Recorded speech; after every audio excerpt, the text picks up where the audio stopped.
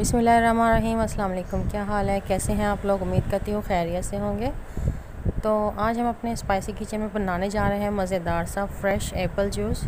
ये बहुत आसानी से बन जाता है। अगर आपके पास ये जूसर है तो आप लोगों के लिए काम बहुत ही आसान हो जाता है। वीडियो शुरू करने से पहले आप लोगों से एक छोटी सी रिक्वेस्ट है कि मेरे चैनल को प्लीज़ सब्सक्राइब ज़रूर कर दीजिएगा और वीडियो को लाइक भी कीजिएगा और दोस्तों के साथ शेयर भी कीजिएगा।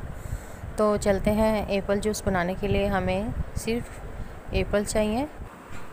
इस तरीके से बनाए गए सेब के जूस को आप रोज़ाना सुबह नाश्ते में पी सकते हैं, लंच में पी सकते हैं और नाइट में भी पी सकते हैं।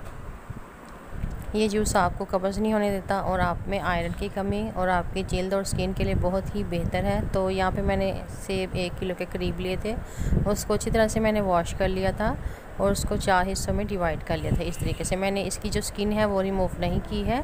स्किन में भी मल्टी विटामिन होते हैं तो हमने इसको स्किन के साथ ही जूसर में डालना है और इसको जूस निकालना है। सिर्फ़ हमने जो सेब के अंदर बीज होते हैं और उसका जो वेस्टेज पार्ट होता है, वो हमने रिमूव किया है। यहाँ पे जो सेब थे, वो हमारे रेडी हो चुके हैं। तो ये रहा हमारा जूसर इसमें हम डालेंगे सेब को। तो नेक्स्ट मैं आपको बताती हूँ कि आप लोगों ने क्या करना है। ये जूसर तकरीबन हर घर में मौजूद होती है। रेगुलर जूसर है, कोई ख़ास मशीन नहीं है ये। तो ये देखें इस तरह की ये जूसर मशीन है मेरे पास। तो चलिए स्टार्ट करते हैं। वन बाय वन हम इसमें अपने जो एप्पल के जूस मैंने काटे थे, वो इसमें ऐड करते जाएँगे। ये एक पंप सा है, उसको प्रेस करेंगे तो ये जो सेब का पीस है, वो नीचे चला जाएगा। अंदर एक स्टेनर छन्नी लगी हुई है, वो भी मैं आपको ज़रूर दिखाऊँगी। अपनी नेक्स्ट वीडियो में इसका रिव्यू भी आपको दूँगी। तो इस तरह से आप इसमें इसमें वन बाय वन सेब के जो पीसेस हैं, वो इसमें ऐड करते जाएँ। ये देखें, जो इसका वेस्टेज है, वो साइड पे इकट्ठा होता जाएगा बॉक्स में। तो इसका जो जूस है, बिल्कुल प्योर तरीके से इसमें निकलना शुरू हो जाएगा। ये देखें, इस तरीके से ये इसका जूस है।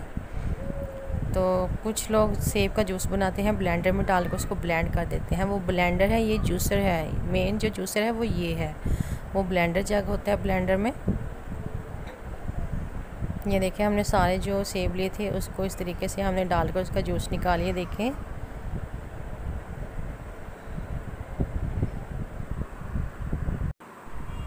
यहाँ पे मैंने सारे जो जूस लिए थे, एक किलो के करीब थे तो मैंने उनका सब का जूस कर निकाल लिया था।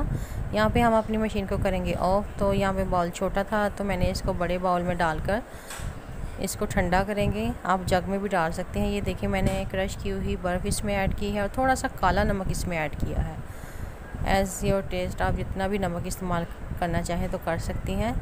तो इसको सर्विंग ग्लास में डालेंगे। ये देखें इस तरीके से। बहुत प्योर है। कोई मैंने इसमें शुगर ऐड नहीं की। बहुत मीठा है ये। डाइट के हवाले से भी बहुत ही मज़े का और यमी है। तो ये थी हमारी आज की रेसिपी तो यकीनन आपको मेरी ये रेसिपी पसंद आई होगी। अगर आपको मेरी ये रेसिपी पसंद आई होगी तो लाइक कीजिए शेयर कीजिए दोस्तों के साथ और मेरे चैनल को सब्सक्राइब करना मत भूल लीजिएगा। तो अपना ढेर सारा ख्याल रखिएगा, चलते हैं लाफिज़